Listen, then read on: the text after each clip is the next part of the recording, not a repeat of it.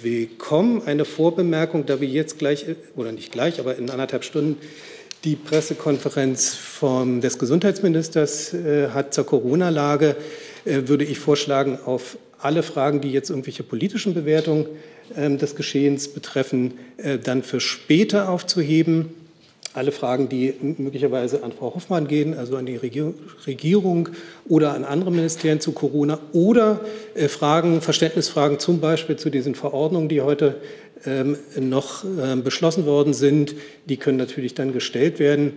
Ähm, aber ansonsten haben wir hier einfach irgendwie eine Doppelung. Das wäre ganz gut. Dann äh, beginnen wir wie immer am Freitag mit den öffentlichen Terminen des Kanzlers. Frau Hoffmann, bitte. Ja, schönen guten Tag zunächst mal und damit beginne ich jetzt genau. Bundeskanzler Scholz wird am kommenden Montag, dem 17. Januar, zu seinem Antrittsbesuch nach Spanien reisen. In Madrid wird der Bundeskanzler von seinem spanischen Amtskollegen Pedro Sánchez empfangen. Bei einem gemeinsamen Mittagessen werden die bilateralen Beziehungen, internationale und europapolitische Themen sowie die Bekämpfung der Covid-Pandemie im Mittelpunkt stehen. Nach dem Gespräch ist für circa 16 Uhr eine gemeinsame Pressekonferenz geplant. Der Bundeskanzler wird dann am Dienstag, dem 18. Januar, NATO-Generalsekretär Jens Stoltenberg im Bundeskanzleramt empfangen. Bei dem Treffen sollen die am 10. Dezember 2021 in Brüssel zwischen dem Bundeskanzler und, und dem NATO-Generalsekretär begonnenen Gespräche fortgesetzt werden. Im Anschluss an das Treffen ist gegen 13.45 Uhr eine gemeinsame Pressekonferenz vorgesehen.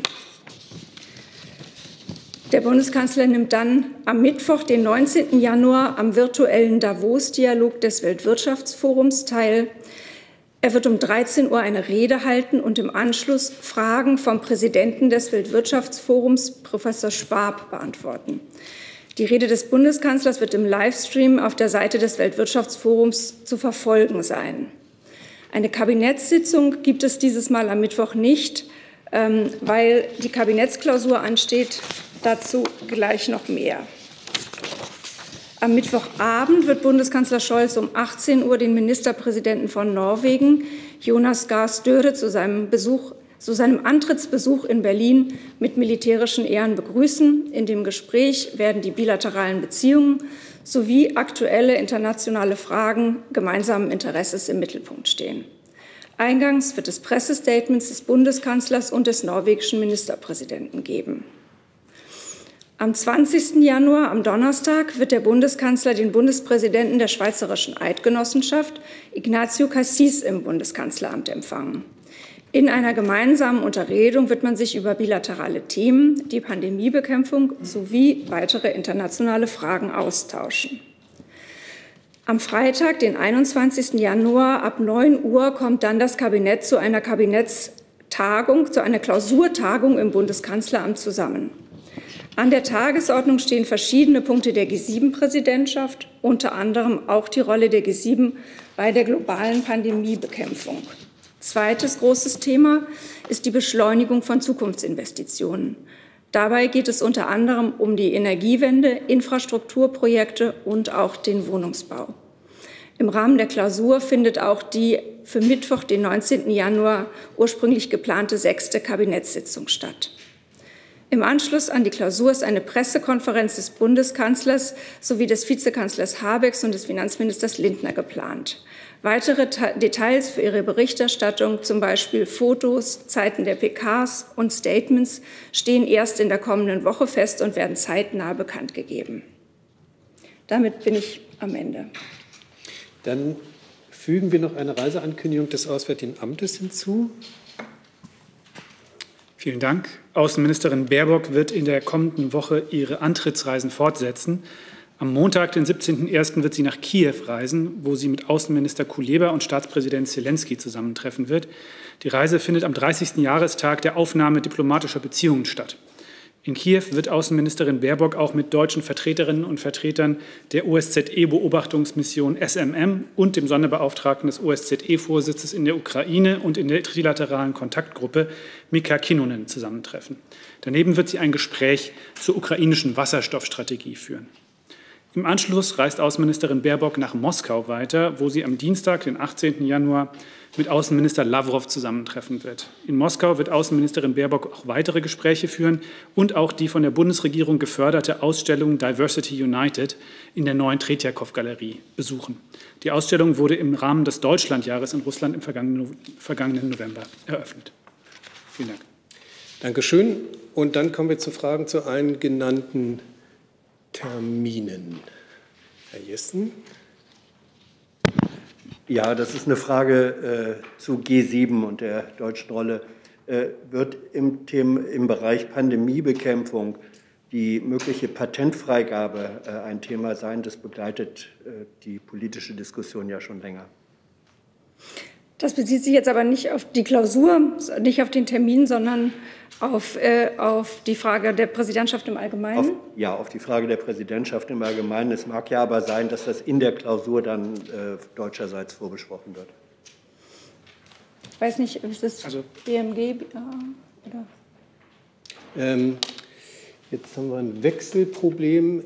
Können wir das mal kurz zurückstellen, ja. weil es ja nicht ganz ja, ja. genau auch zu den Terminen äh, passt, wir nehmen das auf, weil dann nämlich das Umweltministerium noch eine Ankündigung gehabt. Deswegen würde ich jetzt ungern die Plätze tauschen. Aber jetzt zu würde sich anschließen. Dann habe ich aber eine Frage online von Kai Clement äh, von der ARD eine Spanienreise des Bundeskanzlers an Frau Hoffmann. Warum die Spanienreise jetzt? Ähm, es steht ja noch eine ganze Reihe von anderen Antrittsbesuchen an, fragt er. Also eine solche Reihenfolge von Reisen äh, möchte ich hier nicht kommentieren. Und äh, er fügt hinzu, können Sie die geplanten Themen und gemeinsamen Schwerpunkte noch weiter ausführen? Spanien. Ich habe ja gesagt, dass es um internationale und europapolitische Themen gehen wird und natürlich auch um die Pandemiebekämpfung. Näheres kann ich dazu jetzt nicht sagen. Ähm dann gibt es eine Frage im weitesten Sinne auch zu den Terminen von Julian Wetterengel. Werden Kanzler Scholz und die Minister Habeck und Lindner in der Pressekonferenz am Freitag äh, die G7-Präsidentschaftsprioritäten vorstellen? Gibt es dann ein offizielles G7-Programm? Ich möchte jetzt zu den Einzelheiten des Programms nichts weiter sagen, aber G7 wird äh, eines der zwei großen Schwerpunktthemen der Klausur sein, neben der Planungsbeschleunigung.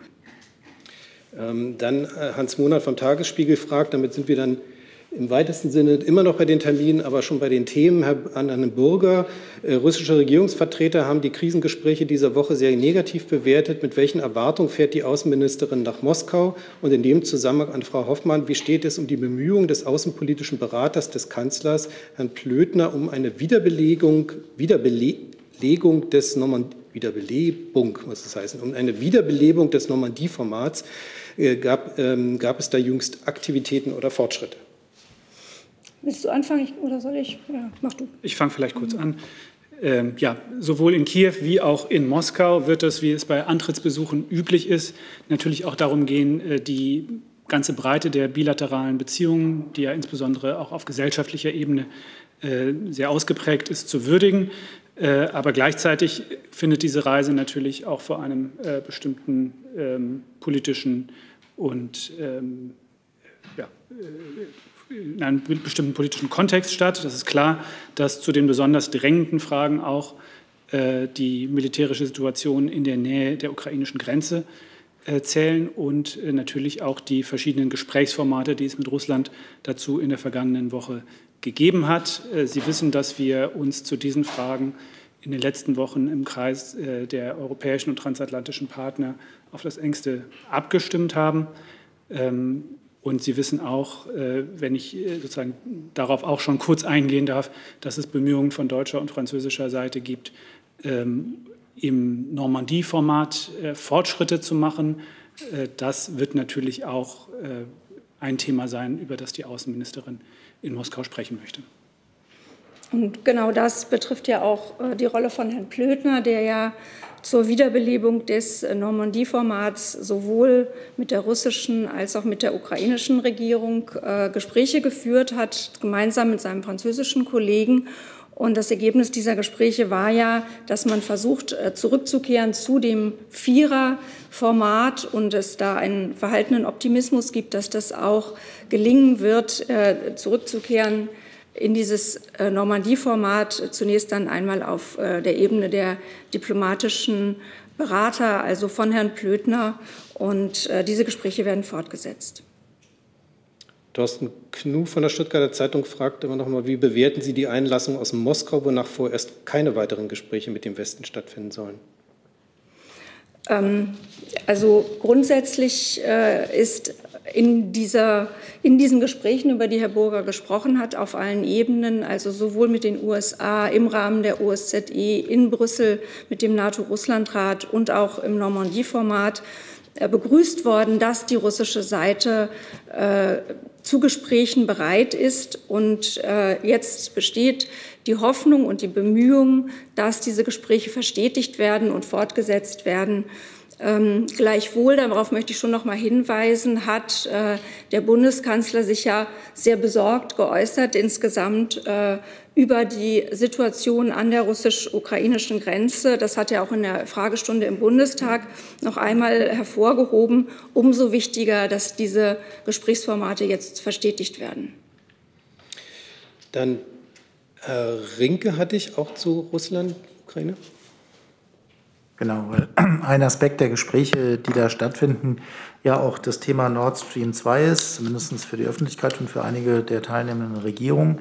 Deswegen hätte ich ganz gerne gewusst, ich weiß nicht genau, an wen sich die Frage richtet, möglicherweise auch Frau Hoffmann, wie erleichtert äh, die Bundesregierung ist oder wie sie einschätzt, dass im US-Senat ein Antrag zur Sanktionierung von Nord Stream 2 jetzt erstmal gescheitert ist. Wir haben die Diskussion im US-Kongress sowie auch diese jüngste Abstimmung ähm, über ein neues Sanktionsgesetz zur Kenntnis genommen.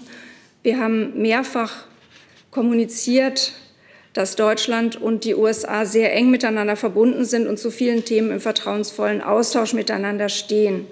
Mit der gemeinsamen Erklärung, dem Joint Statement vom 21. Juli, haben die USA und Deutschland ja ihre gemeinsamen Ziele und Überzeugungen zu Fragen der Unterstützung der Ukraine und der europäischen Energiesicherheit festgehalten, unter anderem natürlich auch in Bezug auf Nord Stream 2. Wir stimmen uns auch weiterhin mit der US-Administration bei der Umsetzung der gemeinsamen Erklärung eng ab und stehen auf verschiedenen Ebenen in konstruktivem Austausch.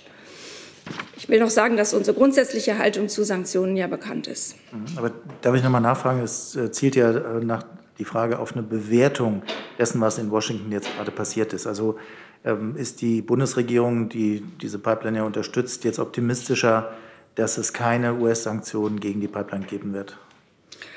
Ich kann jetzt erstmal nur sagen, wir haben das zur Kenntnis genommen. Dann Frau Jen dazu. Ähm, eine Frage an Herrn Burger, auch ähm, das Gespräch mit Lavrov am ähm, Dienstag. Das geht ja ein bisschen über das äh, Normandie-Format hinaus. Also welche Themen sollen denn da dann besprochen werden? Ich gehe mal davon aus, dass man sich jetzt nicht allein nur auf die Vorbereitung für das äh, Normandie-Format äh, konzentrieren wird. Ich habe ja bereits angedeutet, dass es natürlich um die ganze Breite der bilateralen und auch internationalen Themen gehen wird. Äh, natürlich wird es auch äh, im weiteren Sinne äh, um die Gespräche gehen, die in der vergangenen Woche geführt wurden, wo es ja um die, Fragen, um die Frage geht, wie in Europa ähm, Sicherheit gestaltet werden kann, ähm, so dass äh, Staaten sich nicht voneinander bedroht fühlen.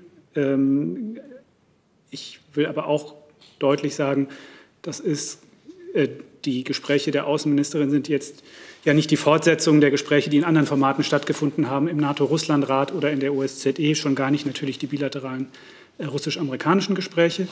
Ähm, das Format, in dem wir als Deutschland eine besondere herausgehobene Rolle haben, ist das Normandie-Format. Deswegen habe ich dieses Format auch besonders äh, hervorgehoben. Äh, Frau Hoffmann hat ja auch über die Bemühungen äh, des außen- und sicherheitspolitischen Beraters des Bundeskanzlers in dieser Hinsicht gesprochen.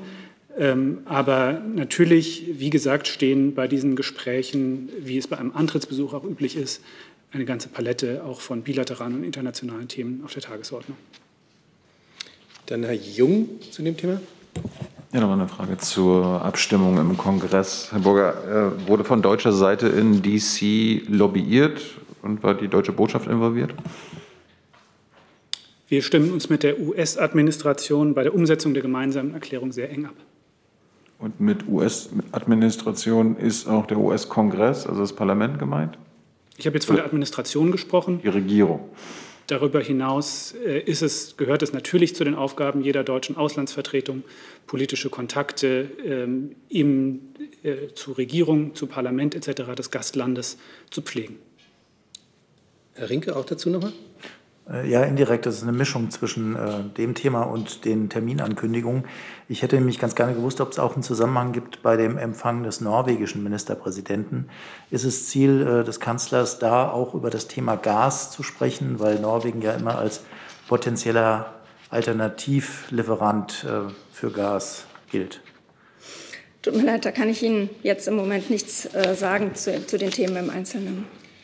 Aber wir bleiben beim Thema Ukraine, Russland. Äh, Paul Anton Krüger von der Süddeutschen Zeitung fragt Herr Burger, wie bewerten Sie mit Blick auf die bevorstehende Reise äh, der das springt hier immer der Bundesministerin äh, die Hackerangriffe der vergangenen Nacht auf ukrainische Regierungsinstitutionen und das in Russland angelaufene Manöver, mit dem die Verlege, Verlegefähigkeit der, von Truppen aus dem östlichen Militärbezirk überprüft werden soll. Zu dem Hackerangriff kann ich Ihnen sagen, dass die Bundesregierung den schweren Hackerangriff verurteilt, der viele zentrale Regierungsstellen in der Ukraine getroffen hat. Als enger Partner der Ukraine sind wir natürlich bereit, in dieser schweren Cyberkrise zu unterstützen. Wir prüfen derzeit intensiv, wie eine solche Unterstützung aussehen kann.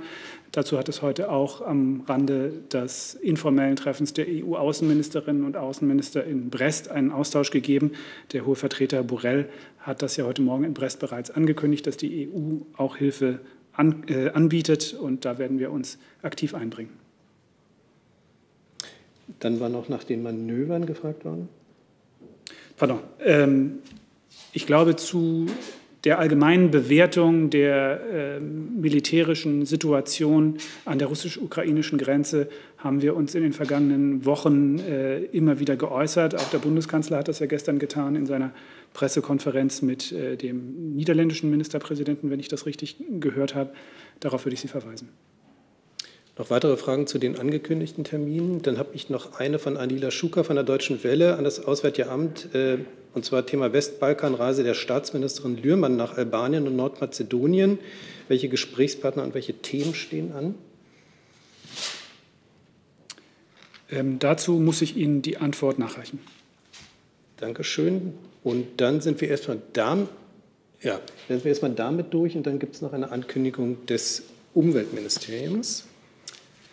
Ich möchte Sie auf den Agrarkongress des BMUV am 18. Januar hinweisen. Also das ist am kommenden Dienstag ab 10.30 Uhr.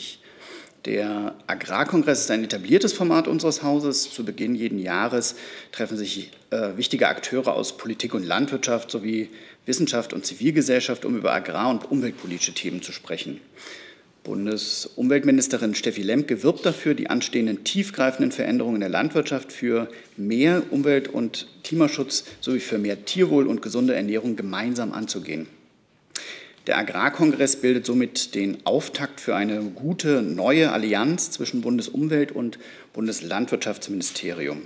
Deshalb freuen wir uns sehr, dass Landwirtschaftsminister Cem Özdemir mit dabei sein wird. Er wird mit der Ministerin den Agrarkongress äh, eröffnen. Außerdem erwarten wir weitere hochrangige Gäste, unter anderem Virginius Sinkevicius, den EU-Kommissar für Umwelt, Meere und Fischerei. Ähm, direkt vor dem Agrarkongress um 9.30 Uhr laden wir zu einer gemeinsamen Pressekonferenz von BMUV und BMEL ein. Diese findet wie auch der Agrarkongress selbst digital statt. Ministerin Lemke und Minister Özdemir werden in der Pressekonferenz einen Ausblick auf die anstehenden Herausforderungen für Landwirtschaft und Umwelt geben. Dabei stehen sie natürlich auch für Ihre Fragen zur Verfügung. Das Programm für den Agrarkongress finden Sie auf unserer Website. Dort können Sie auch die ganze Veranstaltung im Livestream verfolgen. Dazu? Herr Rinke? Ich hätte ganz gerne gewusst, ob das Thema Preiserhöhung von Agrarprodukten äh, da auch eine größere Rolle spielt, weil in diesem Zusammenhang äh, der Inflationsdebatte und starken Anstieg von Energiepreisen zum Beispiel wird ja auch oft darauf hingewiesen, dass auch die Agrarprodukte im Moment überproportional teurer werden. Also ist das Thema und ähm, wie will das Ministerium darauf reagieren? Also es steht ein ganzes Bündel an Themen auf dem Programm. Wenn ich hier gerade mal durchblicke, ich kann nicht ausschließen, dass auch das eine Rolle spielen wird. Aber es ist jetzt nicht aktiv geplant, das anzusprechen? Ähm, das sehe ich jetzt aus dem Programm nicht, müsste ich eventuell nachliefern. Weitere Fragen? Das ist nicht der Fall. Dann habe ich aber auch eine Frage, die sich jetzt hier auch ans BMU richtet. Und zwar Carsten Wiedemann von der Redaktion Energate fragt an das Wirtschafts- und das Umweltministerium zum Thema Energiepreise. Die Verbraucherzentrale Nordrhein-Westfalen hat Energieversorger wegen der separaten Grundversorgungstarife für Neukunden abgemahnt. Auch der Chef des Bundeskartellamtes, Andreas Mund, sieht dies Vorgehen laut dpa-Interview kritisch. Wie bewerten BMW, BMU die Splittung von Grundversorgungstarifen?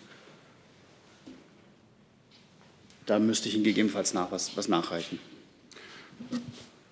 Ja, vielen Dank. Ähm, wir hatten ja letztes Mal schon dazu gesprochen, dass wenn ein Energieversorger nicht mehr in der Lage ist, seine vertraglichen Verpflichtungen zu erfüllen, dann gibt es die Regelung, dass die Haushalte dem Grundversorger zugeschlagen werden und dort ein Grundversorgungstarif in Kraft tritt. Und dieser Grundversorgungstarif sollte sich auch an dem schon bestehenden Grundversorgungstarifen orientieren. Es gibt Presseberichte dazu, dass das in einigen Fällen nicht geschehen ist. Das ist der Begriff der Splittung. Und dort, äh, die Bundesregierung beobachtet das sehr genau, die zuständigen Kartell- und Marktaufsichtsbehörden ebenso. Und genaueres dazu kann ich aber jetzt noch nicht sagen. Dazu? Herr Jessen? Ja, weil Sie eben sagten, ähm, die Tarife sollten sich an den Grundtarifen äh, orientieren. Das ist kein rechtssicherer Anspruch der betroffenen Verbraucher. Sehe ich das richtig oder ist das noch offen? Das, äh, der Grundversorger hat ja auf dem Markt dann eine besondere Position, nämlich dass er oder dass Kunden mit ihm einen Vertrag abschließen müssen. Und dadurch ist die Vertragsgleichheit eigentlich gestört, denn der Grundversorger hat eine starke Position und daraus kann auch der Zustand entstehen, dass diese Marktposition missbraucht wird. Und das ist ein Fall für die Missbrauchsaufsicht. Und über diesen Weg sind die Rechte des zu versorgenden Haushaltes geschützt. Weitere Fragen dazu? Dann Fragen zu anderen Themen. Hatte ich Frau Jen? Ne? Frage auch noch mal. Ähm, ähm, in äh, Frankfurt soll der ähm, Wirtschaftsattaché äh, ernannt werden von äh, der Türkei. Und da gibt es relativ starken Widerstand, auch aufgrund von Gewalttätigkeiten in der Vergangenheit. Gibt es dazu eine Position des Auswärtigen Amts? Ich kann zu einer solchen Personalie nichts bestätigen. Wir hatten noch die Frage zu G7 und so, genau. ähm, Patent. Richtig. Oder, aber Sie, Sie ordnen. Ähm, ja. Genau, Herr Jessen, stellen Sie vielleicht noch mal, damit jeder weiß, worum es eigentlich geht. Ja. Äh, die Frage ist, ob im Rahmen der G7 auch diskutiert wird über eine Freigabe der Patente oder zeitweilige Freigabe der Patente für äh, Covid-Impfstoffe. Auch vor dem Hintergrund ist das aktueller äh, denn je, als der, die WHO die Industrienationen ja auffordert zu einem Moratorium. Äh, gerade durch die Boosterung seien die Kapazitäten überproportional äh, von den Industrienationen beansprucht worden, mit negativen Folgen äh, für den Rest der Welt. Durch eine Freigabe von Patenten könnte diese, das wieder besser in Balance gebracht werden. Ja, wie Sie sagen, laufen ja ähm, bei der Welthandelsorganisation dazu derzeit die Diskussionen und äh, die grundsätzliche Haltung äh, der Bundesregierung zum Patentschutz ist ja auch bekannt, nämlich dass sie eine Aufhebung, äh, dass sie sagt, dass die Aufhebung des Patentschutzes für Impfstoffe erhebliche Implikationen für die Impfstoffentwicklung und Produktion insgesamt hätte. Die Pharmafirmen haben ja in sehr raschem Tempo Impfstoffe entwickelt und ihre Produktionsstätten ausgeweitet. Ohne Patentschutz und auch die Zusammenarbeit mit der Privatindustrie wäre das ja nicht möglich gewesen.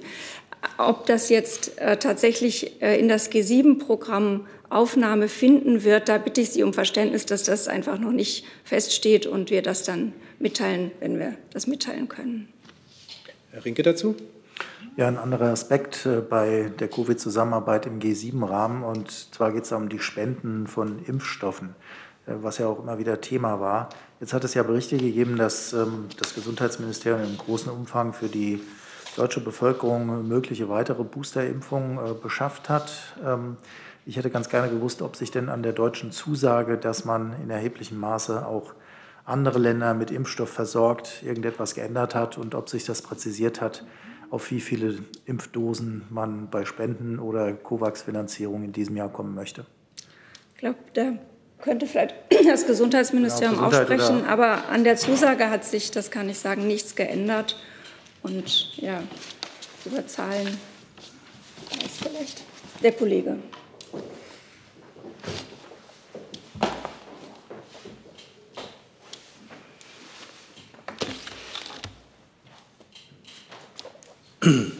Also Herr Rinke, ich kann Ihnen da auch keinen neuen Stand geben. Wir haben ja die Zahlen für, ähm, auch für das laufende Jahr äh, schon, schon kommuniziert äh, und daran hat sich nichts geändert. Wenn sich da Änderungen ergeben, dann äh, teilen wir Ihnen das gerne mit.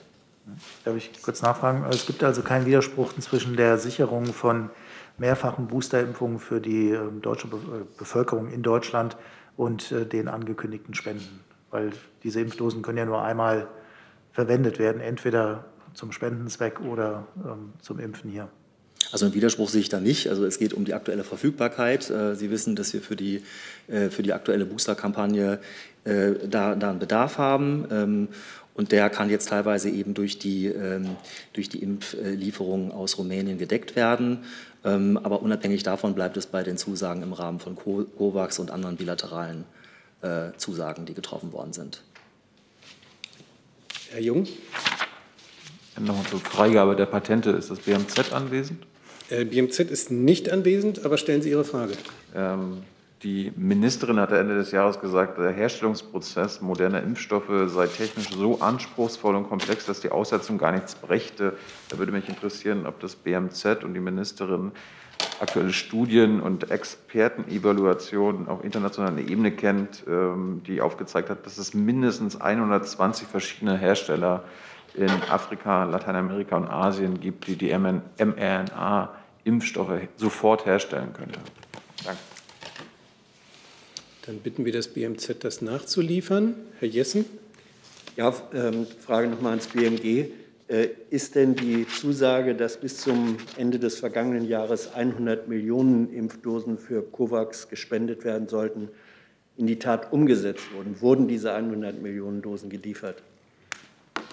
Also ich kann Ihnen dazu sagen, dass bis zum 3. Äh, Januar 2022 äh, äh, an COVAX äh, äh, über 84 Millionen äh, ähm, Dosen an insgesamt 30 Empfängerstaaten ausgeliefert worden sind. Weitere rund 10 Millionen Dosen befinden sich aktuell in der, in der Auslieferung oder in der Liefervorbereitung über COVAX. Darüber hinaus wurden auch bilateral 7,7 Millionen Dosen abgegeben.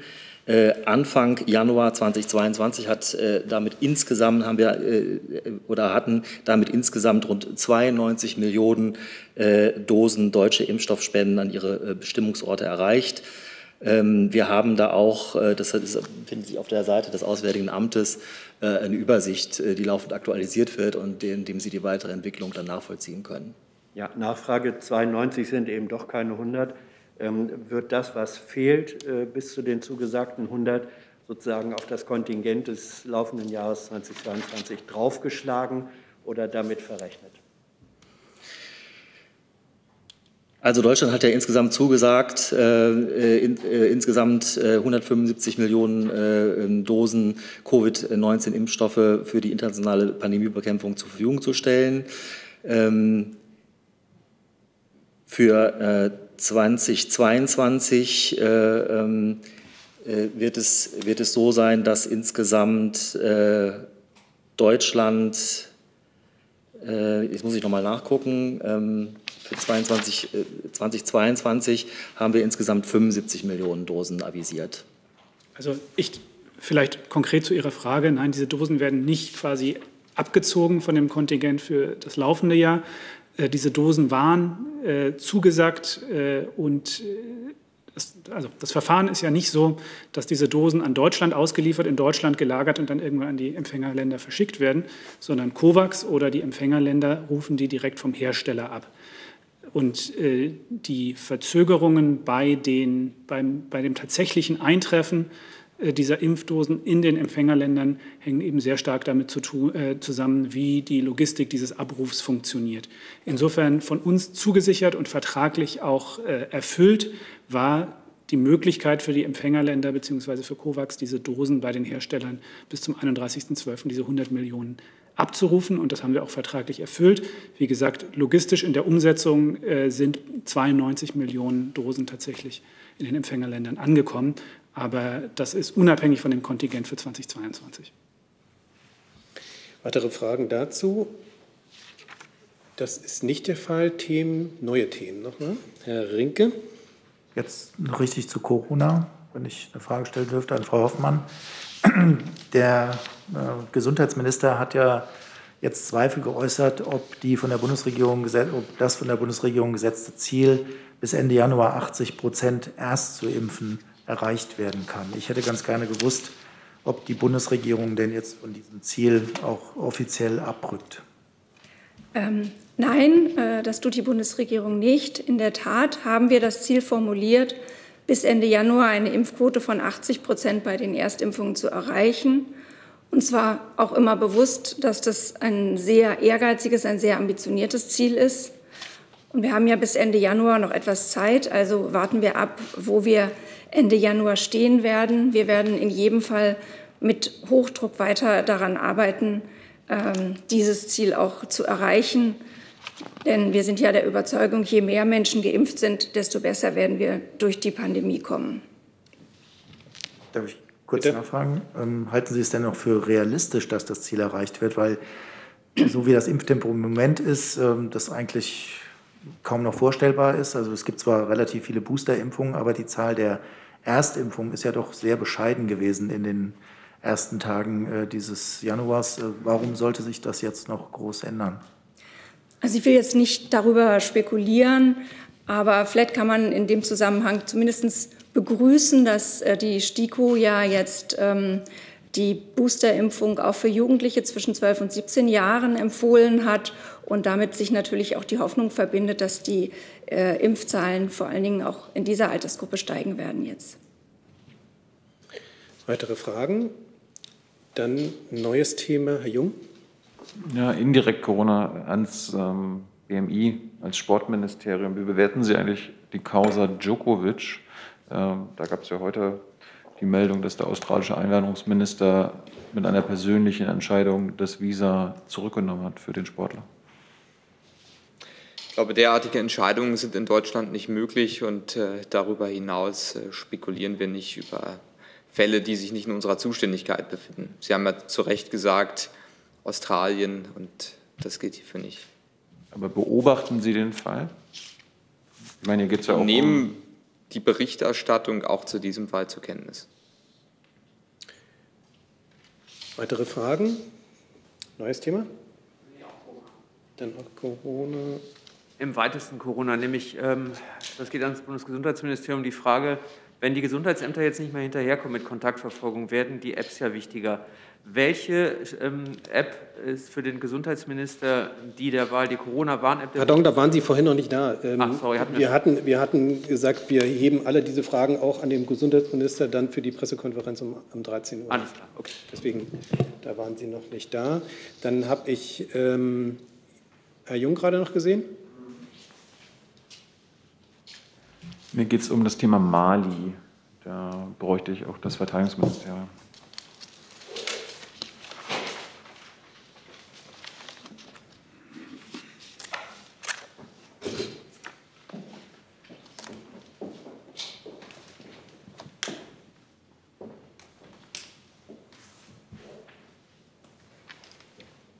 Mich würde interessieren, ähm, wie die deutschen Soldaten vor Ort es einschätzen, dass sie jetzt offiziell Soldaten einer Militärjunta in Mali äh, trainieren und also eine Militärjunta, gegen die es bald ja sogar EU-Sanktionen geben könnte. Und können Sie uns sagen, wie viele Soldaten der malischen Militärjunta aktuell ausgebildet werden? Darf ich erst mal anfangen? Ja, bitte. Ich möchte zunächst mal grundsätzlich sagen, dass die Lage in Mali besorgniserregend ist. Es besteht weiter eine klare Bedrohung durch terroristische Kräfte und gleichzeitig geht es bei dem notwendigen politischen Transitionsprozess, äh, gibt es keine Fortschritte.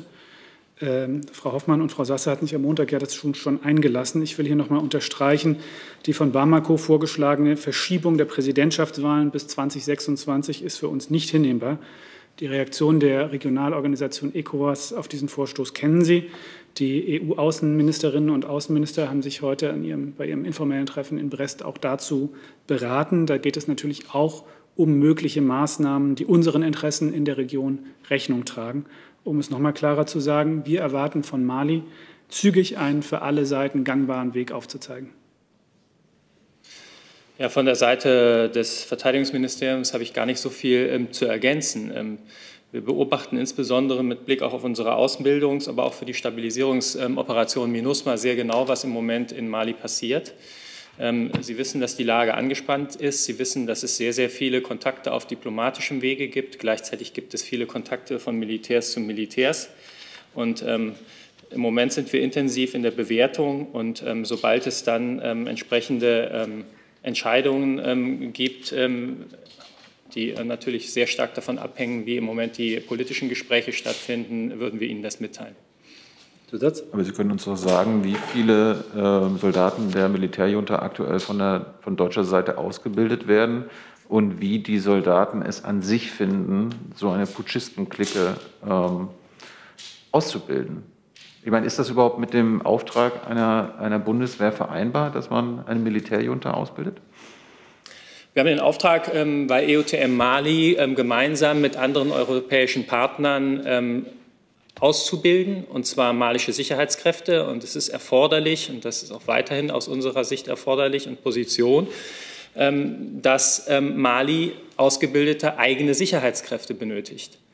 Und mit Blick auf die aktuellen ähm, Vorkommnisse ähm, des Systems GOITA sind wir natürlich äh, über sehr viele Positionen besorgt. Aber der zentrale Punkt für uns ist im Moment, genau wie das Auswärtige Amt auch gesagt hat, wir benötigen dringend ähm, eine Aussage dazu, wie es weitergeht mit den Wahlen. Es ist nicht akzeptabel äh, aus Sicht des Verteidigungsministeriums, genauso wie aus Sicht des Außenministeriums, ähm, äh, dass die Wahlen um Jahre verschoben werden. Wir müssen dringend den Weg finden, in eine ähm, stabile, erstmal in einen vernünftigen Austausch mit der malischen Regierung und dann eben davon abhängig auch, ähm, wie wir militärisch vorgehen. Aber die Punkte, wie wir vorgehen, hängen zunächst erstmal von den politischen Fortschritten ab und daraus leiten sich dann weitere militärische Maßnahmen ab. Herr Heller, können Sie uns sagen, wie viele ausgebildet werden aktuell? Ich muss mal schauen, ob ich hier ähm, Daten habe. Es kann sein, dass ich das hier äh, parallel noch bekomme und dann würde, das, würde ich das entsprechend nachliefern. Danke. Herr Rinke. Ja, eine Frage, die sich sowohl an Herrn Burger als Herrn Hembold richtet. Sie haben jetzt beide betont, äh, dass die Verschiebung der Wahlen auf 2026 nicht hinnehmbar ist. Ich hätte ganz gerne gewusst, ob die Korrektur dieser Entscheidung Voraussetzung für das weitere deutsche Mandat ist. Also wir haben im Koalitionsvertrag ja vereinbart, äh, ich darf kurz zitieren, bewaffnete Einsätze der Bundeswehr im Ausland sind in ein System gegenseitiger kollektiver Sicherheit basierend auf Grundgesetz und Völkerrecht einzubetten. Eine regelmäßige Evaluierung von laufenden Auslandseinsätzen werden wir sicherstellen. Und von daher ist ganz klar, dass der Einsatz ergebnisoffen und gründlich äh, geprüft wird. Und dafür, dazu ist natürlich zum einen entscheidend, dass wir uns in Mali auch international äh, verpflichtet haben. Ähm, da sind wir ja nicht bilateral aktiv, sondern äh, im Rahmen von Missionen der Europäischen Union und der Vereinten Nationen. Ähm, aber gleichzeitig ist für uns klar, dass wir eine zeitnahe Rückkehr zur demokratischen Ordnung erwarten und ähm, unter äh, diesen äh, sozusagen bestimmten politischen äh, Bedingungen auch äh, dieses Engagement begründet haben. Herr Jessen dazu? Doch noch mal, pardon, Herr Jessen. Herr Rinke hatte noch eine Möchte ich noch mal nachfragen. Jetzt haben Sie die Frage nicht wirklich beantwortet, ob das Voraussetzung für die Verlängerung ist. Schweden hat heute angekündigt, dass sie abziehen wollen aus Mali. Ähm, wann wird die Bundesregierung das entscheiden? Und nochmal äh, die Frage bitte, ähm, ist das Voraussetzung, also wenn es bei den Wahlen 2026 bleibt, ist das No-Go für die weitere Anwesenheit der deutschen Soldaten dort? Also ich glaube, ich, ich, kann jetzt nicht für die schwedische Außenministerin sprechen, aber ich glaube, Sie haben sie gerade unvollständig zitiert. Äh, meines Wissens hat sie von, äh, sich auf einen bestimmten Teil des schwedischen Engagements bezogen und explizit offen gelassen, wie es mit dem Engagement im UN-Rahmen weitergeht. Das ist ja sozusagen das, wo die Parallele zum deutschen Engagement bestünde. Ähm, insofern, glaube ich, habe ich deutlich gemacht, dass ähm, wir äh, eine gründliche Evaluierung vornehmen. Und da ist natürlich die Frage der politischen Verfasstheit Malis ein wesentliches Kriterium. Jetzt Herr Jessen. Ja, es ist äh, doch dieselbe Frage. Das Mandat läuft im Mai aus. Äh, der Bundestag müsste eine Verlängerung beschließen. Beim Stand der Dinge jetzt kann die Bundesregierung sich eine Mandatsverlängerung vorstellen, wenn es bei der Verschiebung des, der Wahlen, wie sie jetzt von malischer Seite äh, vorgesehen ist, bleibt? Oder sagen Sie, nein, wenn das nicht rechtzeitig und deutlich in den demokratischen Prozess rückgeführt wird, kann es aus unserer Sicht keine Mandatsverlängerung geben? Ich glaube, das ist dieselbe Frage, die wir gerade schon beantwortet haben. Ne, sie ist eben nicht beantwortet worden, Entschuldigung. Äh, sie haben, sie haben nicht gesagt, ob die Rückkehr zu demokratischen Entscheidungen Voraussetzungen aus Sicht der Regierung für eine Mandatsverlängerung ist. Das haben Sie nicht beantwortet. Ich habe gesagt, dass ähm, eine, ähm, was habe ich denn gesagt? Die Verschiebung der Präsidentschaftswahlen bis 2026 für uns nicht hinnehmbar ist. Ich habe gesagt, wir erwarten von Mali zügig einen für alle Seiten gangbaren Weg zu beschreiten. Und ich habe deutlich gemacht, dass wir eine äh, äh, ergebnisoffene und gründliche Evaluierung des Mandats durchführen werden und dass natürlich das Ergebnis dieser Evaluierung auch mit der politischen Verfasstheit Malis zusammenhängt. Herr Lange auch dazu? Ja. Ich hätte noch eine Frage zu den Ortskräften in Mali. Ähm, die letzte Zahl, die ich im Kopf habe, ist 350. Ist das so geblieben? Das wäre die erste Frage bitte. Und die zweite in dem Zusammenhang, werden eigentlich Vorkehrungen getroffen, dass man diese Ortskräfte möglicherweise schnell aus Mali rausholen kann, wenn sich die Situation ergibt, ähm, ist ja klar die Frage von dem Hintergrund äh, dessen, was wir in Afghanistan erlebt haben. Also sind Sie da jetzt äh, seitens der Regierung anders präpariert? Danke. Also ich kann für die Bundeswehrortskräfte in Mali nur sprechen. Da handelt es sich um 57 ähm, Ortskräfte, äh, die im Augenblick beschäftigt werden. Und ähm, für die Ortskräfte versuchen wir so gut wie möglich natürlich auch für die Sicherheit zu sorgen, ähm, aufgrund unseres auch des Treue- und des Anstellungsverhältnisses, was wir mit den Ortskräften haben. Ich, muss, ich möchte aber auch dazu sagen, es gibt ähm, ähm anders als ähm, mit Blick auf Afghanistan für ähm, Mali derzeit kein Ortskräfteverfahren. Herr Jung nochmal. Wird das angestrebt? Wir haben erstmal grundsätzlich eine ganz andere ähm, äh, Situation in Mali als in Afghanistan. Das bedeutet äh, also eine eins zu eins Übertragung ähm, von dem, ähm, wie wir es in Afghanistan gesehen haben, ist mit Sicherheit nicht äh, möglich. Gleichwohl, was uns wesentlich ist, ist, dass wir die Lehren, die wir auf, aus Afghanistan gezogen haben, auch in Mali anwenden. Und das gilt, gilt auch für ähm, äh, Mali. Und äh, wie Sie ja wissen, befinden wir uns mit Blick auf ähm, alle Einsätze, auch mit Blick auf die Erfahrungen aus Afghanistan im Moment in einem Evaluierungsverfahren. Ich würde dazu vielleicht noch mal ergänzen, es war zum Glück auch in der Vergangenheit bei den allermeisten Bundeswehreinsätzen und in den meisten Ländern, wo Deutschland eine diplomatische Präsenz hat, nicht so, dass die Beendigung eines Bundeswehreinsatzes dazu geführt hat oder damit verbunden war, dass ehemalige Ortskräfte, sei es der deutschen, der Bundeswehr, sei es der deutschen Entwicklungszusammenarbeit oder der deutschen Botschaft, dadurch in akute Lebensgefahr geraten sind. Das war in Afghanistan aufgrund der sehr spezifischen politischen und militärischen Lage so, auch in sehr dramatischer Form. Ähm, und äh, genau wie der Kollege aus dem BMVG es gesagt hat, äh, empfinden wir als Arbeitgeber natürlich Verantwortung für unsere Ortskräfte weltweit. Das sind, wir sprechen beim Auswärtigen Amt von lokal Beschäftigten. Das sind Kolleginnen und Kollegen, äh, mit denen wir sehr, sehr eng zusammenarbeiten über viele Jahre. Und ähm, deswegen äh, sind wir natürlich im Einzelfall sehr darauf bedacht, deren Sicherheit gewähren zu können und dabei unterstützen zu können, dass deren Sicherheit in ihrem Heimatland oder anderswo gewährleistet werden kann. Ähm, eine eins zu eins Übertragung der Situation aus Afghanistan auf andere Länder äh, sollte man aber mit großer Vorsicht machen. Dann noch äh, lange noch mal. Ja, nur ganz kurz, Herr Burger, haben Sie eine Zahl auch noch, wie viele Ortskräfte im zivilen Bereich beschäftigt sind? Für das Auswärtige Amt haben wir derzeit 16 Lokalbeschäftigte in Mali. Gibt es weitere Fragen dazu? Noch andere Themen? Das sehe ich nicht. Doch, Herr Jung, noch eine und dann machen wir Schluss. Da ich das Verkehrsministerium anwesend sehe, würde ich das gerne bitten.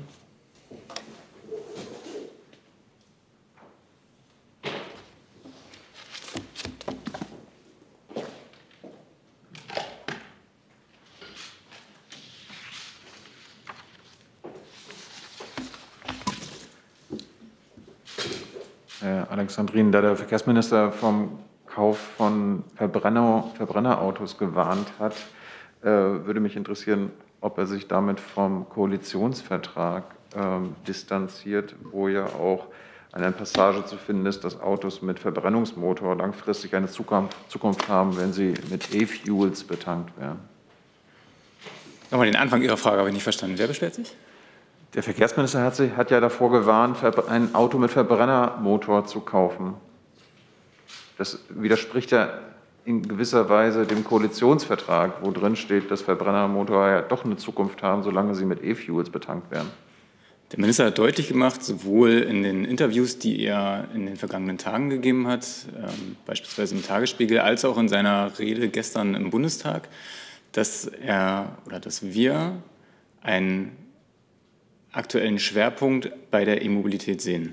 Das hat folgenden Hintergrund. Wir haben die Einhaltung unserer Klimaschutzziele im Verkehrssektor als oberste Priorität. Deshalb streben wir äh, mindestens 15 Millionen elektrische Pkw bis 2030 an. Die kurzfristig verfügbare klimaneutrale Mobilität im Individualverkehr ist die Elektromobilität. Wenn wir den Umstieg forcieren, schaffen wir auch unsere Klimaziele. Die Elektromobilität im Pkw-Bereich ist dafür ein wichtiger Baustein alle Antriebs darüber hinaus bleiben wir natürlich trotzdem technologieoffen. Denn Mobilität ist nicht nur im Pkw und im Individualverkehr, sondern wir haben auch die Bereiche äh, Seeschifffahrt, wir haben die Bereiche Luftfahrt, in denen E-Fuels bzw. synthetische Kraftstoffe selbstverständlich eine große Rolle spielen können äh, und werden deswegen auch dort weiter natürlich äh, die Technologie vorantreiben. Der Satz? Aber Sie haben jetzt nicht eine große Rolle von E-Fuel bei privaten PKWs genannt. Äh, und darum geht es ja. Im Koalitionsvertrag steht, dass äh, Verbrennermotor eine Zukunft haben mit E-Fuels. Wir haben selbstverständlich eine sehr große äh, Bestandsflotte an Verbrennungsmotoren. Was wir allerdings sehen und was ich eben auch schon gesagt habe, ist, dass wir einen Schwerpunkt haben, und zwar bei der Technologie, die aktuell marktreif und verfügbar ist. Das heißt, wenn wir Politik von heute machen wollen, und wir müssen heute Politik machen, weil unsere Klimaschutzziele müssen wir heute erreichen, dann geht das am besten mit der Technologie, die verfügbar ist, und das ist aktuell die äh, batteriebetriebene Elektromobilität. Dann habe ich als letzte Fragestellerin für heute Frau Jen nochmal. Eine Frage an das Außenministerium. Ähm, die EU-Minister, die Außenminister diskutieren auch derzeit ähm, die Frage von Litauen und der Streit um die ähm, Repräsentanz von Taiwan. Ähm, gibt es da auch eine deutsche Position, weil offensichtlich ähm, über Solidaritätsbekundungen ist die EU anscheinend ähm, in der Lage, eine, eine geeinte Position zu entwickeln? Also dem würde ich widersprechen. Wir und die EU haben uns von Anfang an solidarisch an die Seite unseres EU-Partners Litauens gestellt. Es gibt dazu auch ganz, ganz intensive Gespräche. Äh, es ist zentral, dass Europa hier mit einer Stimme spricht und wir eine gemeinsame Antwort geben. Die Außenministerin hat heute Morgen im Anschluss an ein, also hatte heute Morgen am Rande dieses Treffens auch ein Gespräch mit ihrem litauischen Amtskollegen und äh, hat das dort im Anschluss an dieses Gespräch auch noch mal betont. Und wir haben unsere Position auch gegenüber China deutlich gemacht und werden das auch weiterhin tun. Wir verlangen, dass sämtliche formellen und informellen Zwangsmaßnahmen gegen Litauen und den EU-Binnenmarkt aufgehoben werden. Natürlich, das äh, wissen Sie aus Brüssel, prüft die EU parallel auch die WTO-Konformität der chinesischen Maßnahmen. Äh, da ist aus unserer Sicht klar, dass sich jedes WTO-Land an den internationalen Verpflichtungen messen lassen muss, die es eingegangen ist. Und dazu gehört auch China. Dann sehe ich keine weiteren Fragen mehr. Pardon? Eine Ergänzung noch vom Wirtschaftsministerium. Dazu kann ich beitragen, dass die parlamentarische Staatssekretärin Frau Dr. Franziska Brandner in Litauen war und genau diese Position dort vertreten und vorgetragen hat. Sie hat sich darüber erkundigt, wie Unternehmen dort betroffen sind und hat dort mit dem Außenminister, der Wirtschaftsministerin und der Chefberaterin des Präsidenten gesprochen. Dann doch noch mal eine Nachfrage von Herrn Rinke dazu. Genau. Herr Severin, vielleicht können Sie auch sagen, was die Konsequenzen daraus waren. Also sie hat Gespräche geführt, hat sich informiert. Es gibt ja Länder wie Taiwan direkt, die angekündigt haben, äh, dass sie verstärkte Investitionen in Litauen vornehmen, um dem Land äh, den Druck, der durch diesen chinesischen Boykott entstanden ist, zu nehmen. Also gibt es irgendwelche neuen Initiativen deutscherseits, dass man Litauen jetzt unterstützt oder äh, dass man auch die Lieferketten, die ja bestanden haben, auch in Zukunft sichert? Es ging Frau Brandner dort um eine Sachverhaltsaufklärung, das heißt das Maß der Betroffenheit, die Position der litauischen Regierung und des Präsidenten. Und konkrete Maßnahmen haben sich da bisher noch nicht daraus ergeben. Dankeschön. Dann sind wir am Ende angekommen. Ich bedanke mich ganz herzlich für die Aufmerksamkeit und wünsche ein schönes Wochenende.